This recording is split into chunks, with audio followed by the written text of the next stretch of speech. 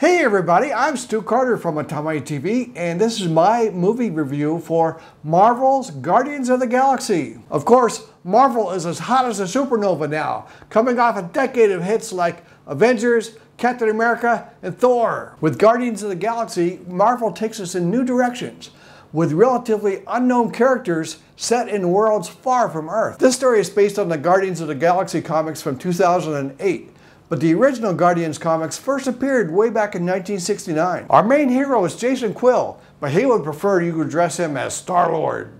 The film takes some time to develop, and we learn there's tragedy and regret in his life. And this is an opportunity for you parents to take your child aside and tell them it's okay to be afraid sometimes. Anyway, Star-Lord is played by actor Chris Pratt, and many fans here will know him as the voice of Cooper on Ben 10 Ultimate Alien.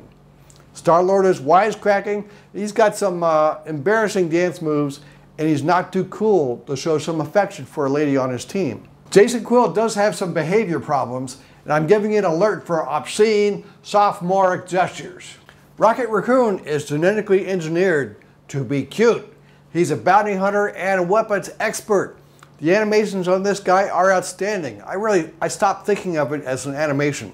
Rocket is voiced by actor Bradley Cooper, and adults will know him from the Hangover movies. You kids, just don't worry about those movies. They are for adults. Rocket has teamed up with a walking tree called Groot, who is the muscle of the two. Together, some will be reminded of Master Blaster from Mad Max Beyond Thunderdome. Groot is voiced by Vin Diesel of Triple X and Fast and Furious fame. The film gets a lot of attention for that, but in fact, Vin Diesel has essentially one line, which is repeated through the whole movie. The female member of the team is Gamora, who's been forced into a life as an outlaw. Gamora is played by Zoe Saldana. You might remember her as Uhura from Star Trek. In that movie, she was always trying to smooch on Spock. In Guardians, there's something of an interest between Jason Quill and Gamora, but kids, you can breathe easy. I guarantee there is no smooching in this movie.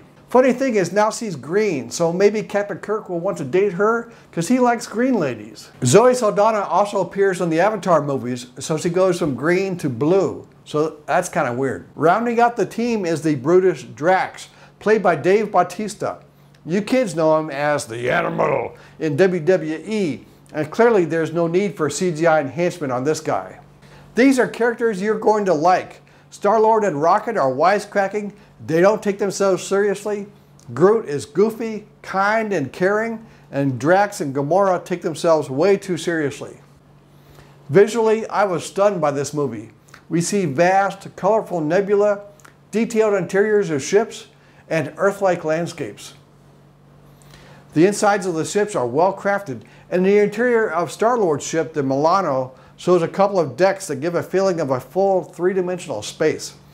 I particularly liked that the views through the cockpit windows were full. Looking out, you see in several directions, up, down, to the sides, like in a helicopter almost. The soundtrack is nostalgic for adults since Star-Lord is fond of 80s pop hits.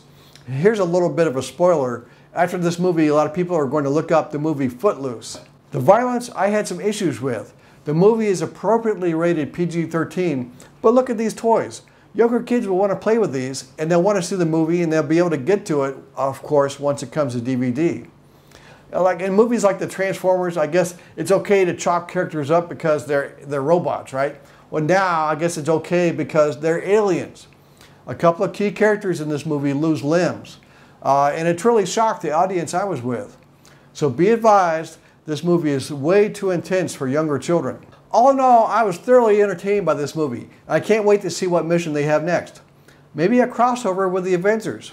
After all, Iron Man was a part of the original Guardians of the Galaxy team way back in 1969. So this is my first ever movie review. I hope you liked it. And look, I've got a ton of toys to talk about here in Guardians Week. So you better hit that subscribe button. And until next time, have a good day.